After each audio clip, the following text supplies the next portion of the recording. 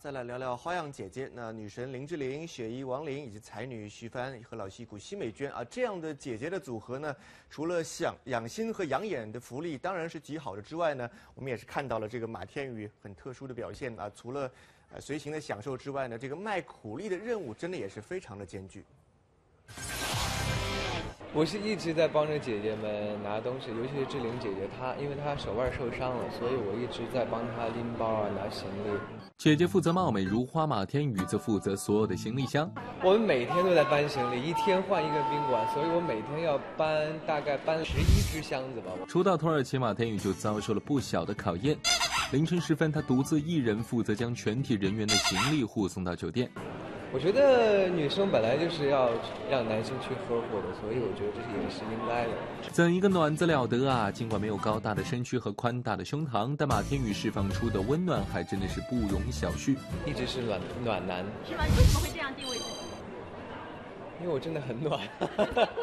还记得《古剑奇谭》长沙发布会吗？马天宇当场被爆，在剧组不仅常常给郑爽买零食，天冷的时候还给她买衣服和暖宝宝，那照顾是相当的无微不至啊。嗯，一直在拍戏的时候就很照顾我，让我感觉很温暖。我觉得找男朋友找这样子的。不过，别看马天宇一副暖男的架势，爆起料来也是一点儿也不嘴软。我要告诉所有人，其实志玲姐姐她不是。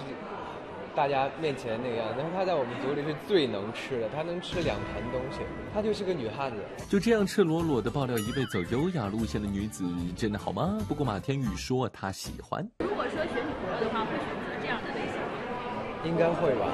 这算是表白吗？马天宇似乎永远都是这样的率真。不信拉个李治廷当话题来聊聊。会不会要跟李治廷比较？我没有办法跟他比较，因为他从头到尾只穿了一身衣服。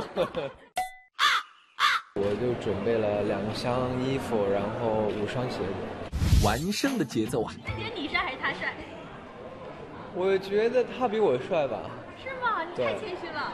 这是你说的，不是我说。的。评论在线综合。